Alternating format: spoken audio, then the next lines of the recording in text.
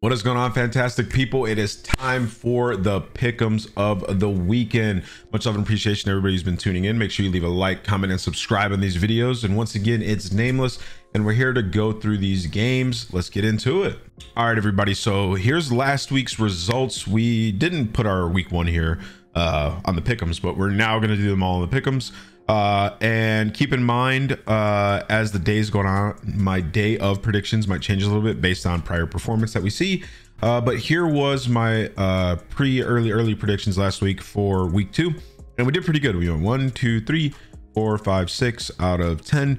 Saturday was a bit tough. Uh, I think the Rokkr beating FaZe, nobody had that. We had Legion beating Breach. Uh, Breach ended up turning up, so you know, just a bit of a bad prediction there. And then Optic, surprisingly, uh, coming out and winning that match versus the Toronto Ultra, which on the day of, I actually picked uh, Optic to win that series, I believe. Um, and then moving into, yeah, I did actually. Uh, and then moving into the next day, uh, we have what what happened here? Okay, so Legion ended up choking, costing me there, uh, and then I got these last two right. So all in all, I mean, Friday and Sunday were absolutely wonderful. We had fantastic picks. The day of, I did adjust my Saturday pick for Optic uh, based on what I saw uh, on Friday, which I already had them winning before the week started. So realistically, it was a great week. Uh, I'll take a six out of ten, and realistically, a seven out of ten anytime. Uh, so let's go into week three and see if we can sort of uh, emulate that uh, based on the information that we have. So we have the London Royal Ravens versus the Florida Mutineers as the first game on Friday. Now, this is a very important game.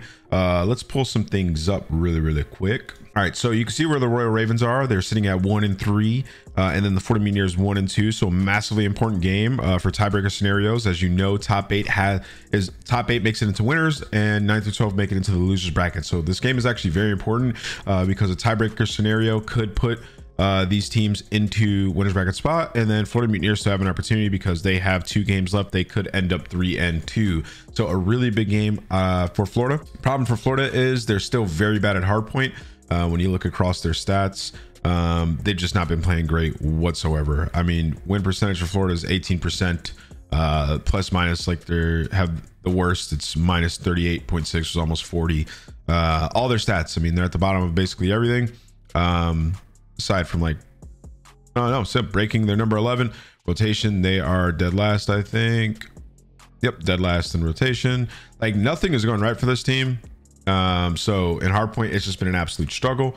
Uh, what we've seen from this team, they just made a roster change as well. They're picking up Davpadie, so there's going to be a little bit of an adjustment period. Uh, going into a matchup against the London Royal Ravens, who looked much better in their last series versus the Legion. This is a very hard game to predict. Uh, however, I am going to go three, two Mutineers. Uh, the Ravens still have not convinced me. Um, Skrapz had an unreal performance. Can he keep that up? I don't know. Uh, I trust the search and destroy and the iciness out of Florida more than I trust the fluky respawn out of Ravens. I think that's the way that you should look at this game. So I'm going to go Florida Mutineers 3 2. Uh, sorry for the long, drawn out prediction there, but it is what it is. It's a hard one. Uh, New York versus Legion. I think without a shadow of a doubt, uh, New York win this 3 1 straight up. Uh, Legion got a lot to work on. Uh, LAG versus Atlanta FaZe. This is a banger of a matchup. If you remember, the last time these guys played was on LAN. LAG won both hard points and FaZe won both SNDs to take the series 3 2 on LAN.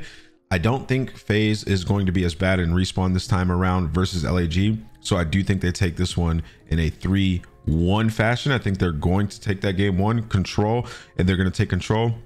And then they're, ah, man, actually, I don't know how if it can end up 3 1. I think they will win the first hard point.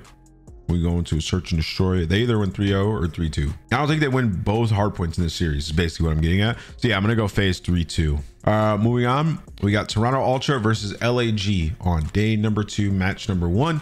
Uh in this series, I like Toronto a lot but it's also very hard for me to see LAG going 0-2 on the week. However, it is possible. I do think Toronto will just win this one, man. But I don't know. This is a very this is a toss up, guys. Do your research when you look at this one because when you look at the hard points, like LAG has been better with this new roster than Toronto. They are 6-0 in hard point.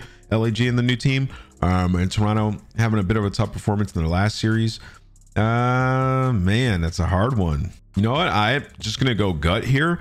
I think LAG are gonna take it. I think they're actually the better hardpoint team right now than Toronto, and I think Uh, you know, with search and destroy, Toronto has been solid. They're solid everywhere. They're solid at control, solid search. Right? LAG might come in and, and win a S&D here. Um, 3-2. They're just not going to have an 0-2 week. Not going to have an 0-2 week. Wow, man. These are risky, risky picks. Um, okay. Uh, and then we have Optic versus the Vegas Legion. Uh, Optic win 3-0. Uh, they're looking unreal at search. Uh, the respawns have been on point. They take it 3-0. Uh, we have Breach versus the Florida Mutineers. Um, if I remember correctly, like Breach has been playing pretty good. Yeah, win percentage 80%, four and one in hardpoint so far in qualifier two, 80% hold, uh, only second to LAG. I feel like Boston has been pretty solid aside from that optic game. Uh, and they are also in a position where they're two and one with a win here that secures them the winners bracket. And I think they will take it. I think they'll take it 3 1. Uh, they they win both hard points here versus Florida, just a much better hard point team. Uh, Breach, uh, obviously, right now performing in the top three in stage two when it comes to HP, and Florida's still dead last. And then when we look at the the S and D and control, like Boston can win search. Uh, they have some maps that they're decent at. And then when it comes to control, I like the slaying ability on the side of Boston better. Uh, I think if you're Boston, you just go ahead and you get rid of a silo, force a hotel or a fortress, whatever Florida is willing to play, uh, and then the ball's in your court at that point. Uh, but moving on, we have New York versus the Seattle Surge. I actually think this one can be a banger. Uh, big bounce back game for Seattle. They have a lot of time to sort of fix their issues. However, they're going up against New York, and this is a finals rematch. I think New York takes it 3 2 fashion. Uh, moving on, we have Seattle Surge versus the Minnesota Rokkr. I think Seattle take that uh, 3 1. I think Seattle come in, bounce back, they blow them out. Uh, Seattle's, I mean, people were riding them off because of their online performance, which don't understand. They've been absolutely abysmal at S&D, but they are still a threat. Sib is unbelievable. Pred is unbelievable. They come in, they win that series 2 1. Uh, we have Boston Breach versus the LA Thieves. LA Thieves have been seriously struggling. Uh, and honestly, I think all the stats and everything would lean towards Breach. Uh, but I do think the LA Thieves come in and they beat Breach. Simply a player confidence thing. Um, and also the fundamentals are still great on Thieves. Just sometimes they're dropping the ball in the slaying category. They're one of the only teams that you can really just blanket statement that about. Uh, at times there's some such decisions in the crunch time. We've seen Envoy throw his life away, uh, things like that, but nothing really to write home about. Um, so LA Thieves, I'm gonna take them three one over Breach. I just think uh, player confidence. They come in. Kenny's back. They they win that series. Uh, we have Atlanta FaZe versus Optic Texas, the banger of the week. I am going Optic Texas. Right now this is what i'm this is what i'm feeling. I might change after we see this atlanta FaZe game or this optic vs legion game but right now i'm going optic texas in a 3-1 fashion set up the major but yeah that's my pickums guys. Let me know what you guys think if you enjoyed this video. Uh, also quick update for you guys. Who made it to the end of this video i have a community on twitter. It's called sports bets and cdl picks with ant. I'll be posting my sports bets but mainly my cdl bets for you guys. Um, uh, CDL picks. I can't personally bet, but you know some of you guys can, and some of you guys just do these pickums anyway, so it'll help you either way. Uh, and I'll be posting uh, deep analysis and text uh, on that community post on Twitter. The link for that will be in the description below. So join up. Let me know what you guys think, and uh, hey, let's see if we can get more points here in week three. Much love. Take it easy, everybody.